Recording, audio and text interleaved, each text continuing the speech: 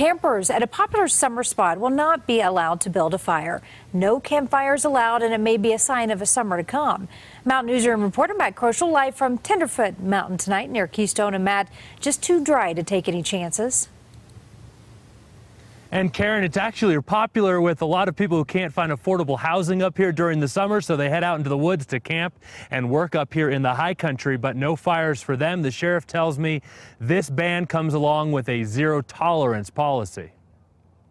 You never be bored up here. This time of year, you can often find Lauren Drogsvold out exploring her big backyard. I think for most people that live up here, it's all about what you do, right? And I like to snowboard, I like to hike, I like to trail run and mountain bike, and this is kind of my playground. She's very aware of the danger this fire season brings. Growing up in Boulder, I've come across a lot of unattended campfires, and I know that those tend to start some really big fires. She stumbled across this fire left burning with no one around. After putting out the flame, she posted about it on a community Facebook page, and that got a lot of people talking. But we've had the driest winter that I can remember.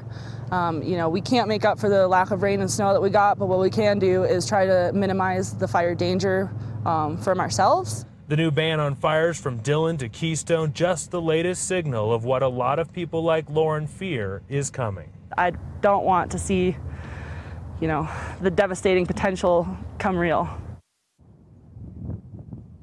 The sheriff telling us that later this week, a special crew they just hired for this season in particular will head out into the high country here in Summit County on patrol looking for unattended wildfires and for fires that have been set by people in campsites.